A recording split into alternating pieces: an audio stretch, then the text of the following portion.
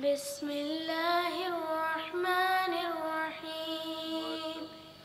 ياسين والقرآن الحكيم. إنك لمن المرسلين.